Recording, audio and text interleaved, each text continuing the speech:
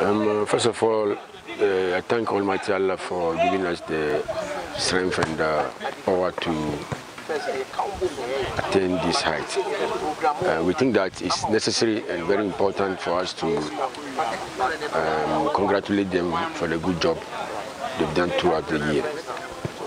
That's the reason we are, why we are here. Um, spe- uh, speciality of being president is that um, every good work deserves a praises.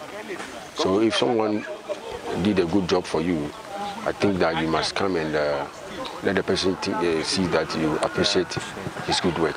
That's why we are here. Coming to congratulate them and then uh, uh, give them some kind of uh, bounty bonuses. That's the most important thing for them.